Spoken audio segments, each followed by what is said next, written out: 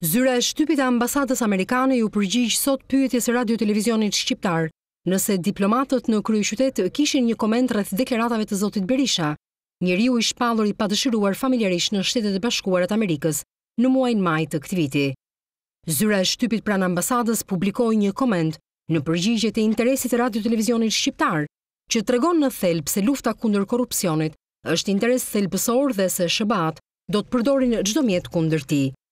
Midis urdhrit ekzekutiv të Presidentit Biden, shpalljes nga Sekretari i Shtetit Blinken, deklaratave të ambasadores Kim përpara shtypit, medias javën e kaluar dhe editorialit të kësaj jave,